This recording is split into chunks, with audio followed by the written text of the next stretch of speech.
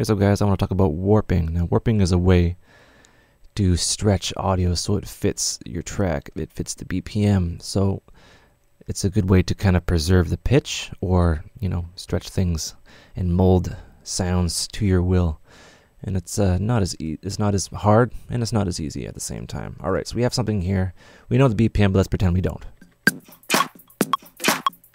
Right, completely out of whack with a metronome. All right, I'm going to show you a way to get beats locked in tight every time, right? You want to right click up here and set it to uh, quarter notes, right? So we'll set it to quarter notes. This is just an example, right? So you're going to use this grid as a reference up top, right? Because, you know, if you do this, you'd be like, all right, so where's, okay, there's, you know, the second beat.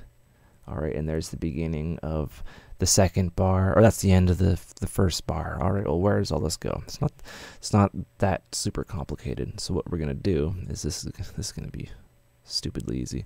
You have these warp markers here, and this one's yellow, and this is kind of your start point. So you want to find your start point and set one one here. Usually it'll do that automatically. What you want to do is you want to find another kick and drag that to its nearest marker here and you'll notice that the rest of the track just kind of follows suit. Uh, this is, you know, a beginner kind of example, and we'll notice that we are more or less warped. Right? So you'll notice it sounds kind of funky. That's because we have our warping preserve, preserving our warp model thing here, right? So what it does is it will preserve a particular part of it and uh, have you know a back and forth um, playback. So what it's doing, we'll just do like play once. What it's doing is it's I'll give you a good example, is it's chopping it up and then playing it like as a preserved transient. Right, you can hear that. Right, and that's pretty close to its normal BPM. If we slow it down, right, is playing each 16th as a note. And, you know, it's chugging along here. There's different ways of going about it. It can detect the transients, which works uh, a lot of the time. Uh, it detects when it goes from quiet to loud, and it says, oh, I should preserve that. I'm going to preserve that, right? Uh, but sometimes transients will start here and it'll do something weird. So it's really up to you to kind of figure this out, depending on like where you're pitching. Right, you can hear that graininess. If you set to uh, a 30 second, you can really hear the grains. If you, and if you set it to an eighth, right, you, you get the artifacts. And these are artifacts, and they don't really sound nice. All right, so sometimes uh, there's different you'll you'll need to try out a different mode and there's tone which splits it up into grains instead of transients or uh, a predetermined uh, predetermined uh, grid it'll split it up into grains so the grain a very small grain size will preserve uh, you know single note material and that sounds a little bit better I'll bring it down in pitch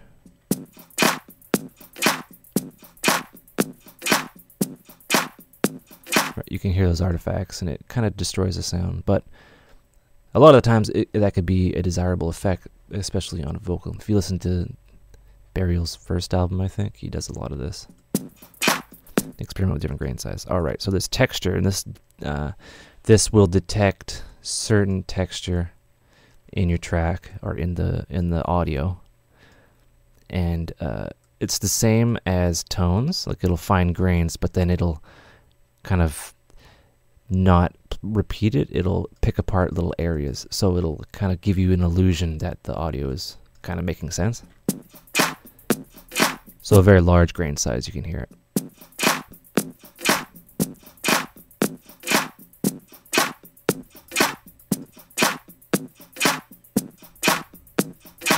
Works works kind of okay on vocals, not so much for percussion. Uh, so yeah, I'm not using it that well. For percussion, I'd stick to beats because it preserves transients really well, especially if it's at the 16th. So if you have it on 16th and beats,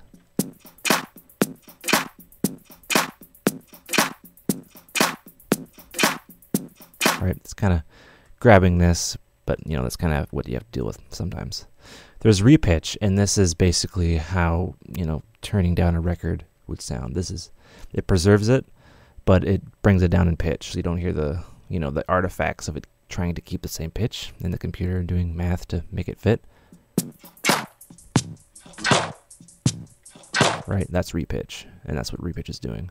You can go all the way up there, like a 45 on crack. So uh, there's two new modes, and these are completely different. Uh, what this does is this is it uses a complex form of pitching, kind of like Melodyne. There's two forms, and one is more CPU intensive than the other. So what it does is it this one kind of preserves it preserves the trans it preserves the transients and all that fun stuff, but it makes it sound a little bit more hollow. And that could be an effect you're looking for. It kind of works well on whole tracks. Like we're using it, we're setting it to an extreme value, but you really get the idea. Uh, we have a, an option section for Complex Pro. So this takes the formants, which is like uh, the higher frequencies. It'll it. I, I've read I've read about it before. It splits the sound into different bands, and uh, uh, pitches them separately, and then sums them together. Because like lower frequency material obviously has a longer wave, so that's that requires a different form of like pitching as to like higher frequency material where the waves are really close together. And yeah, it's it's very they they say they recommend don't use this unless everything else fails. But yeah, all right, I have talked long enough about that. Let's warp something else. So again, we have this guy here. Uh, we will have it set. All right, let's warp it within the window here.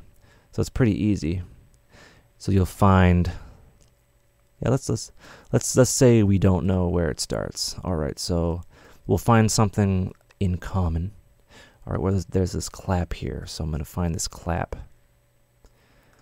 Set one one here. I'm going to get rid of this warp marker, and then I'm going to be like, okay, I want to warp this clap so it's on the offbeat. Right? I want to warp this clap over here. I can physically grab it. Right? And that doesn't sound good. So I can go to the next one, be like, okay, I'm to warp this clap over here. And then this clap over here. Right? And then I'm to have to go in here. Okay, these are these are on 16ths. So I'll just shimmy them over. Shimmy them over. So this is kind of like a different way of going about it. And then, once I'm done that, I can go back to the start, or I can just completely leave that. Oops. So I could be like, all right, I know where that is. So I need a beat before this. Right, so then I can warp it, well, warp it here, and confuse myself. What am I doing? Yeah, I'll warp from here. All right, so now I have this, and it's looped, and it's in, it's in, it's in time.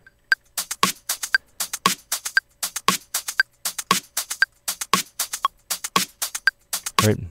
Hopefully that makes sense. All right, we're gonna we're gonna warp a whole track now. This is where it gets kind of confusing for people, especially me. So what you want to do is you want to find the beginning of the track. So right right around here is where the kick starts, cause just just how it was rendered. Uh, typically you'll you'll find you know the area where it starts. All right, kick starts here at the zero point. Set one one here. Sometimes it'll you know automatically make warp markers, you want to get rid of that. So what you do is you just hit warp, warp again, and it won't preserve the warp markers next time. So what you want to do is take a look at your grid, make sure it's on quarter notes. So you say, okay, I need this to be synced up, right? So what I do, it's a, it's a famous hack, no, is I go right to the end, double click, and then I can stretch it out. You notice at the top there? I can stretch it out. And then I can go cool, and I can zoom in and say, all right, I need to refine it, kind of like how you would when you're if you're ever mixed on like vinyl or CDs, CDJs, you uh, kind of refine your mix as you go. All right, that's cool. Make that go a little bit faster. Right, and then as you go on the track, you'll notice that it's it's a little bit off, maybe, unless we're extremely perfect. So then you just zoom in, and then you want it to just hug that line. Zoom in more. There you go. You're fantastic. Keep on going. Awesome. And you'll notice that you are warped in this entire track sooner or later.